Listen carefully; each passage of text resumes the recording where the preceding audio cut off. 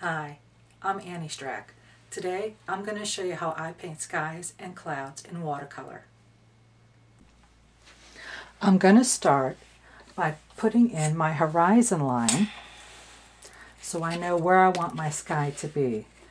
Since I want to concentrate on the sky in this painting, I'm going to put my horizon line down just below halfway. If I put it at the halfway point, it's going to look too static. I don't want to cut the painting in half exactly. If I put it too high, I'm not going to have much room for the sky and it'd be mostly the seascape below. So I'm going to put it just below the halfway point so I can concentrate more on the sky.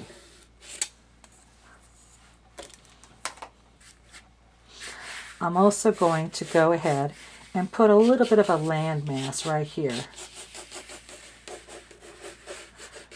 And coming off from my landmass, I'm going to have a beach that's going to come around like so. This is going to be a little island in my landscape. Now the first thing I want to do is wet the paper where I'm going to paint the sky because I plan on doing this a wet on wet technique. So with just clean water, you can see I'm brushing the water onto my paper where I plan on putting the paint. I'm not going to go below the horizon line because I don't want to have my sky in the middle of the sea.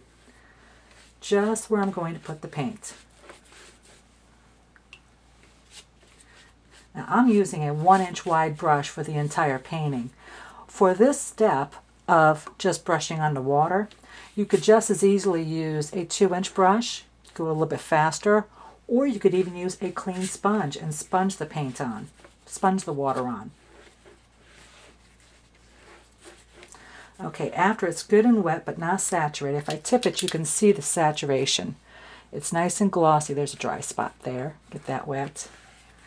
And by tipping it, I can see if there's any flat spots that are dry because I don't want any dry spots. Next, I'm ready to go put some paint on. Now I'm going to start with the with my favorite blue for sunny sky, and that is cobalt. So here I'm trying some cobalt. I'm testing it on a spare piece of paper here. This is my spare piece of paper. I'm testing my cobalt, getting a lot of it on the brush. and I'm going to start slapping that cobalt in. Now I'm not going to cover the entire sky with cobalt because I want to have some white clouds showing through. So I'm going to have a white cloud going here and a white cloud coming up here. So I'm painting in between my clouds. This is the blue sky that's showing in between the clouds.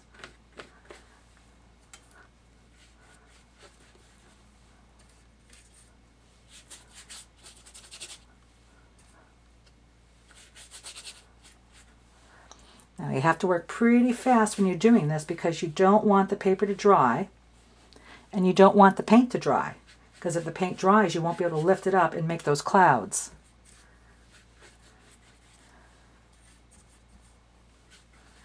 Want to get it on nice and thick because I'm going to take a lot of it off.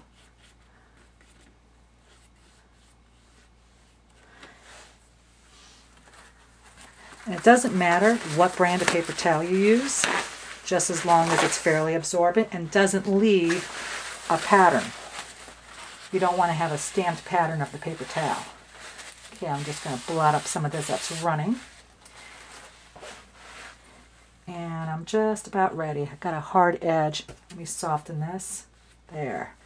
Okay, I'm also going to show a little bit of violet. I'm going to do it. This is a sunny sky, but I want a little violet in my cloud. So I'm mixing I'm mixing some of this violet now into my blue. And this is this is like a shadow in the clouds. Mostly on the underneath of the clouds. A little bit in the middle here and there. Oh, my paper's starting to dry. It's going to be time for me to lift this off. I don't want too much. There we go.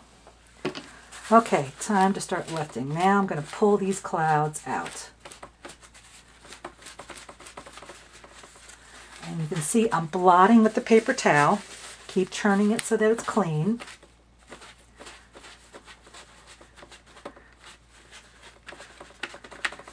When it gets dirty, I turn it.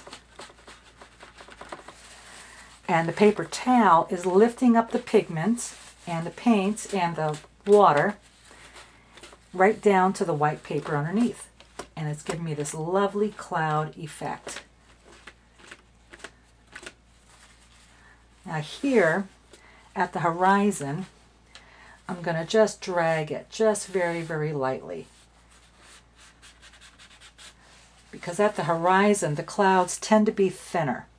When you're looking at the horizon, they tend to get thinner, and as your eye moves up, you're seeing the bottoms of the clouds, so they have a more rounder shape. But the, when you're looking at the horizon line, you're seeing only the edges of the clouds, and so they appear to be thinner and narrower and flatter. They don't appear to be so round and fluffy like the ones straight up do.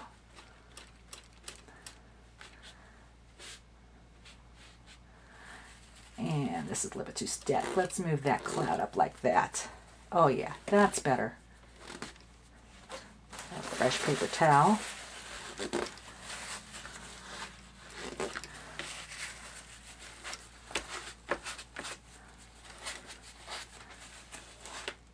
And that's it. The paper is drying very quickly. That's all I can lift up. It's a very, very short window to get the paint off the paper and down and, and to blot down to the white paper to bring up the clouds.